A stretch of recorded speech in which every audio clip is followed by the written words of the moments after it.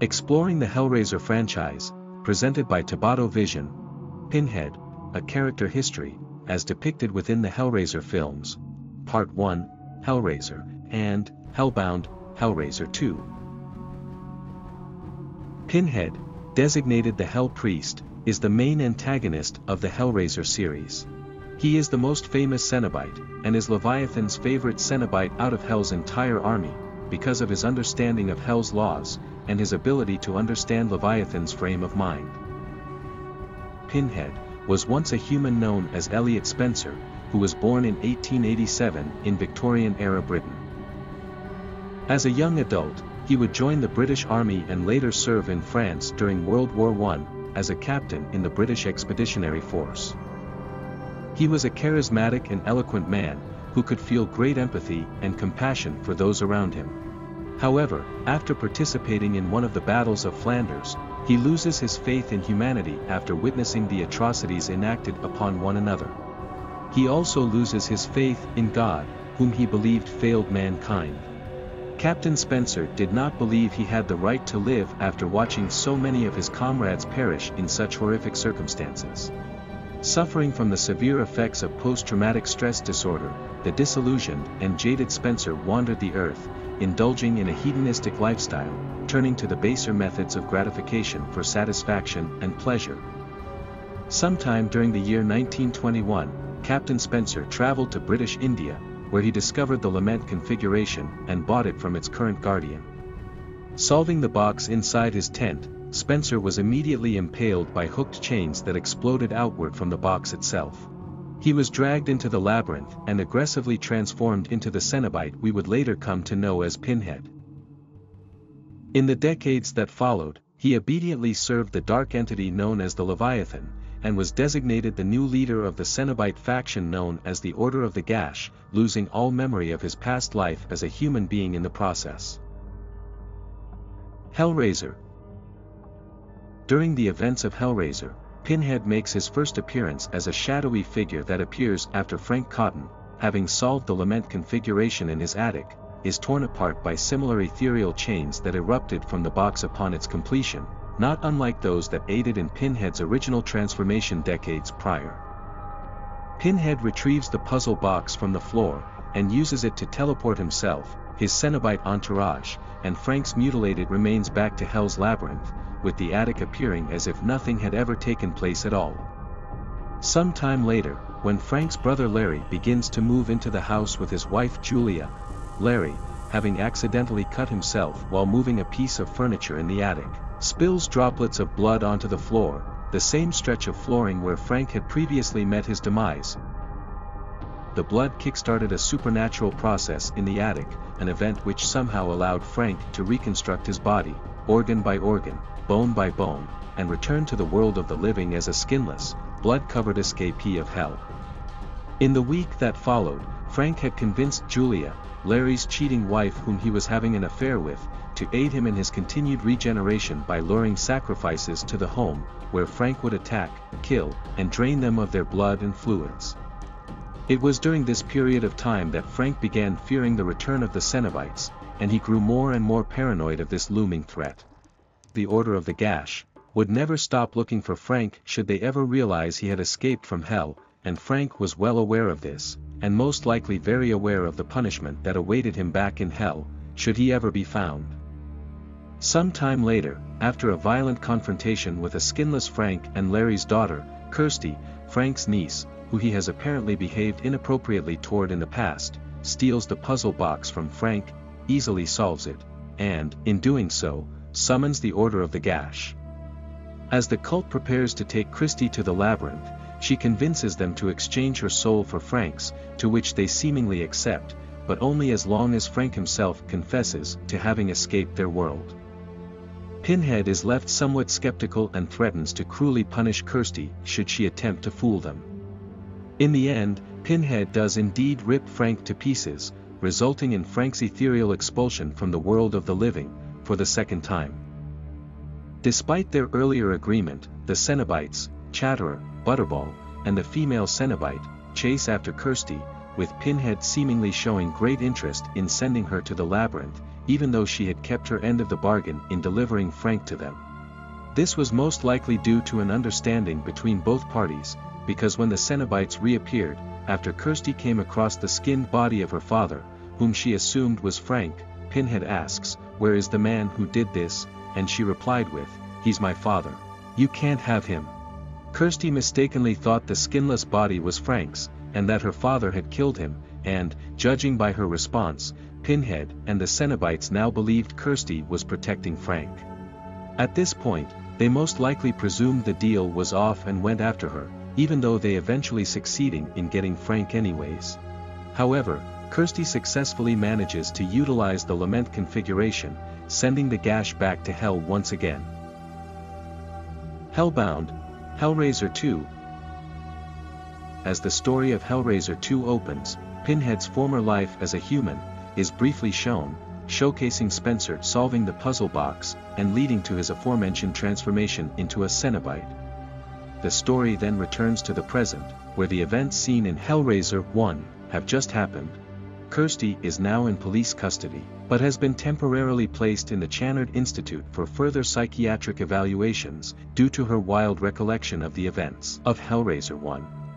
She soon thereafter begins having visions of a skinless man asking her for help, a man she at first believes to be her father, trapped in hell and somehow communicating with her.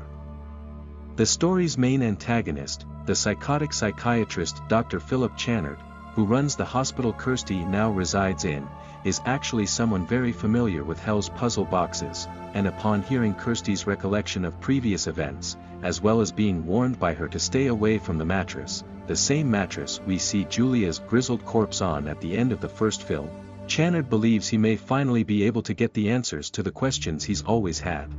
Does hell exist? Are the boxes really gateways? And the ultimate question. Why?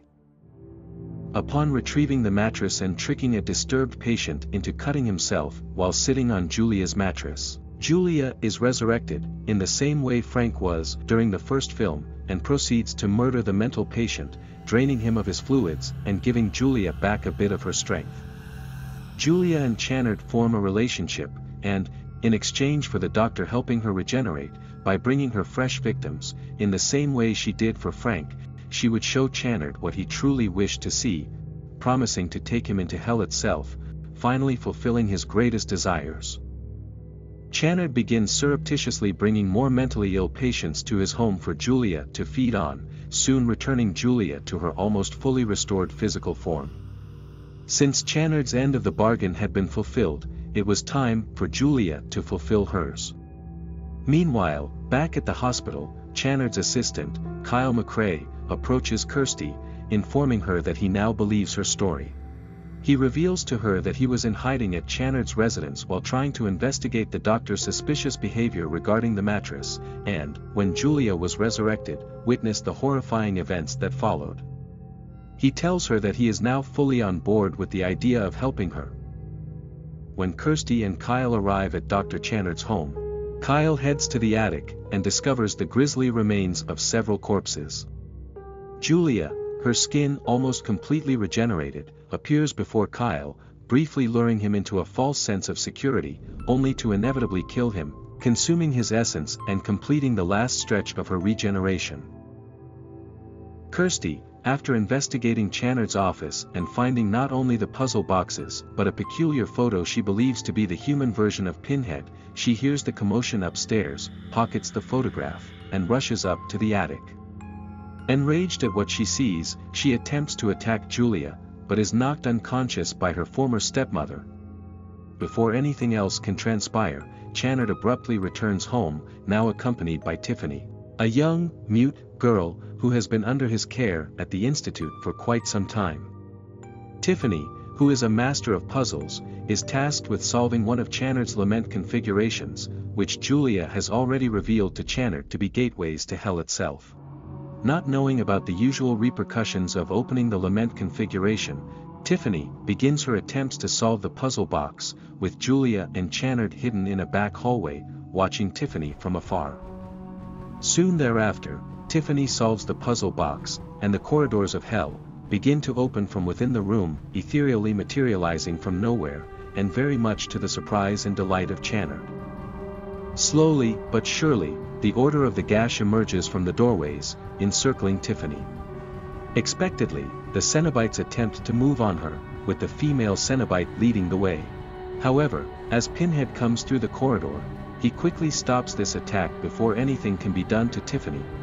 Judging by Pinhead's response to Tiffany's opening of the box, it is learned that opening the lament configuration does not in and of itself justify being targeted by the Cenobites.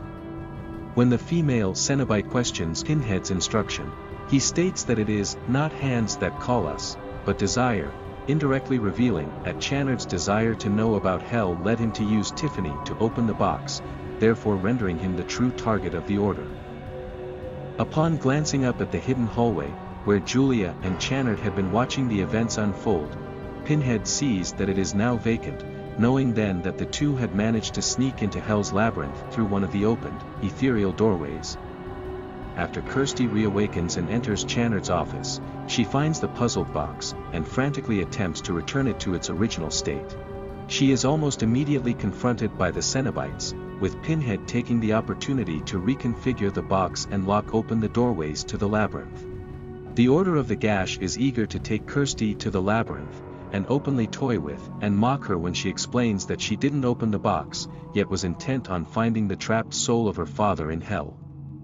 Pinhead then allows Kirsty to flee into the halls of the labyrinth, telling her that she has free reign to explore hell, but that she can expect to inevitably be captured and tortured at some point in the near future.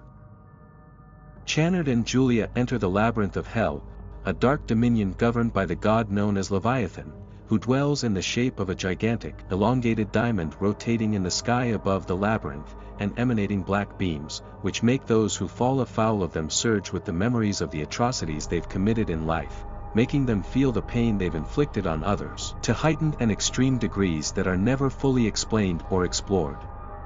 After encountering these black beams of light himself, Channard is hit with a barrage of dark memories from his own past, and is left exhausted by the experience, and calling out to Julia for help.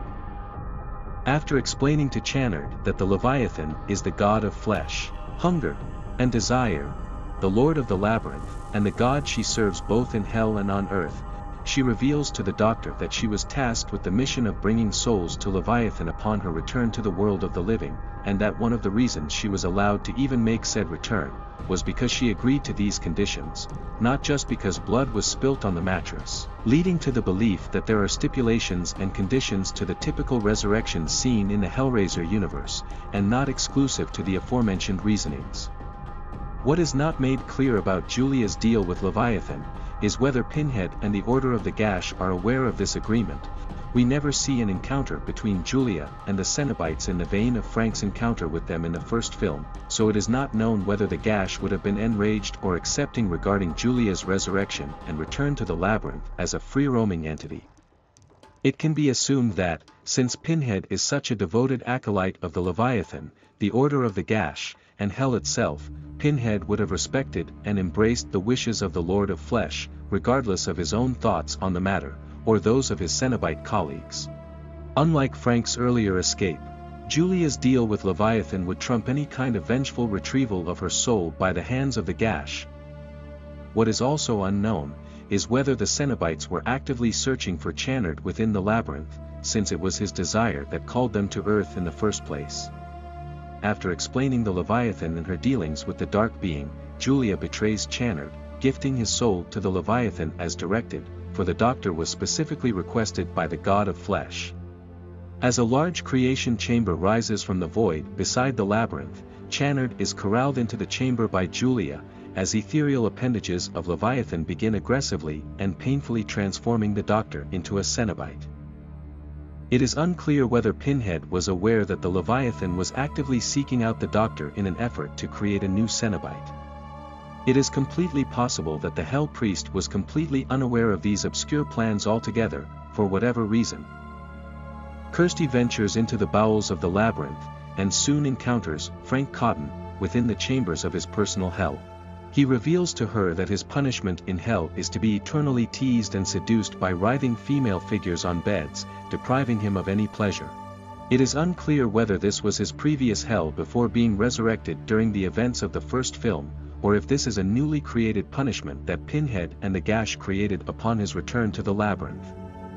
Frank also reveals to Kirsty that he in fact tricked her into coming to hell, as he was the bloodied figure appearing to her earlier, pretending to be her father in order to lure her and use her for his own pleasures for all eternity. At this point, Julia appears, making simple conversation with Frank before abruptly ripping out his heart in revenge for betraying and killing her previously. Whether or not Frank's spirit would eventually rematerialize in the same hellish cell, or fall to the deeper bowels of the labyrinth, is unknown. As Julia relishes in her actions, Kirsty flees the cell with Tiffany.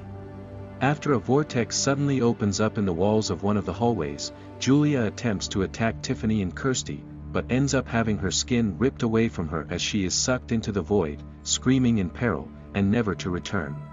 It is unclear where she went, why the vortex opened in the first place, or if this was the direct result of Leviathan's will. After returning to the institution through the still open doorways, Kirsty and Tiffany quickly fall afoul of Dr. Channard, now fully transformed into a Cenobite and very much under the direct control of the Leviathan, via a biological connection drilled into the top of his skull. As Channard attacks the patients of the hospital, Kirsty and Tiffany flee back into the still open doorways that lead to hell, noting that the box must be solved in order to close back the gates between the two worlds. They end up encountering Pinhead and the Order of the Gash shortly after re-entering the labyrinth, with the Hell Priest now intent on taking Kirsty's soul and making her a permanent resident of Hell. Kirsty then presents Pinhead with the photograph she took from Channard's home, and after at first denying that he's ever been anything but a member of the Order, gradually remembers that he was in fact once human. The other Cenobites also remember that they were once humans. This moment of revelation is cut short when Channard appears. The Order of the Gash do not seem to know who the Channard Cenobite is and they do not behave in a way that suggests they are aware that Leviathan has personally connected himself to the hellish doctor. This is perhaps due to the fact that, after being awoken to their former lives as humans, the entire focus of the Order of the Gash has been displaced from their focus on serving Leviathan and are in a transitional period of reconnecting with the cores of their former selves, rather than the Cenobites they had lived as, up until this point. In an act of rebellion against Leviathan and Hell itself, and one that sees the gash attempting to protect Kirsty and Tiffany, Pinhead moves on Channard, hooking him with numerous chains and attempting to maintain control of the situation. Unfortunately, Channard ends up breaking free, stating that he is now taking over the operation, and quickly dispatches the order, with their forms reverting to their original, human versions as they perish. It is not known if Channard and the Leviathan made the decision to destroy the Order of the Gash before or after Kirsty showed them their former origins as humans, or if it was simply a decision made on a whim when Pinhead stepped in to protect Kirsty and Tiffany, therefore disobeying the will of Leviathan in an instant. Before dispatching Pinhead, the powers of Leviathan revert him back to his former self, Elliot Spencer, who smiles at Kirsty, thankful for what she's done to free him, and silently signaling her to flee.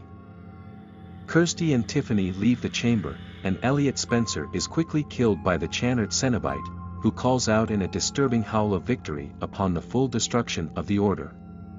This, of course, would not be the true end of Pinhead. After a final chase that concludes atop the labyrinth, with the god of flesh overlooking, Kirsty tricks Channard by donning Julia's skin, giving Tiffany the opportunity to finish the lament configuration, finally destroying Dr. Channard as the Leviathan abandons the doctor and withdraws its ethereal, tentacular appendage from his body, ripping his head off in the process. The completion of the box alters Leviathan into the shape of a lament configuration, closing the gate between the two worlds as Tiffany and Kirsty barely escape the confines of the labyrinth. It is not known whether Leviathan has been permanently conquered at this point, but it can be assumed that his indisposition is merely temporary, as he is, after all, the Lord of the Labyrinth, the God of flesh, hunger, desire, and of hell itself, and may in fact be, the tangible form of what biblical accounts describe as the fallen angel himself. Some time later when movers are in the process of removing the personal belongings of Channard within the doctor's home, One of them comes across the blood-stained mattress on the floor, for whatever reason left behind by authorities after the crime scene had been cleared and the bodies from the attic removed. As he bends down to examine it, two skinless arms reach out from the pool of blood, pulling him halfway into the mattress. When the second mover finally enters and observes the scene, a large spinning pillar, known as the Pillar of Souls, not dissimilar to the one seen whenever Cenobites appear, rises from the bloodied mattress, decorated with several Cenobite faces, including that of pinheads. It seems the Hell Priest may not have been entirely destroyed after all. The arms that pulled the man into the bed, have never been confirmed to be those of pinheads, someone else entirely, or simply two detached ethereal arms that simply coincide with the materialization of the Pillar of Souls itself. As the pillar stops spinning, it stops on the disembodied face of a vagrant called Little John, a guardian of the lament configuration who was last seen in first film. He asks of the man, what is your pleasure, indicating that the cycle of temptation, pleasure, pain and suffering will continue, regardless of which specific Cenobites populate hell, and one can assume that the Leviathan is still very much in control of his domain, like many other mysterious aspects of the Hellraiser mythos, it is not known what causes the Pillar of Souls to appear in the first place, or why the man was pulled into the mattress, since no blood was spilled onto its surface. It has been speculated that, since the Pillar of Souls features heavily in Hellraiser 3, albeit visually transformed, the very emergence of the pillar is guided by some kind of otherworldly agenda, that is assiduously carving a path for Pinhead's eventual return, using Julia's mattress as a Kabbalistic conduit, from the realm of hell, to the world of the living. This concludes this episode of Exploring the Hellraiser franchise. Pinhead, A Character History, Part 2, will cover the films Hellraiser 3, Hell on Earth, and Hellraiser Bloodline. Thank you for watching.